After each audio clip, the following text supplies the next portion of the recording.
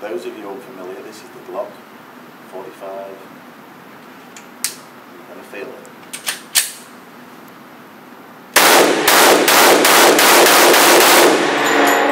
I think you get the impression. Okay.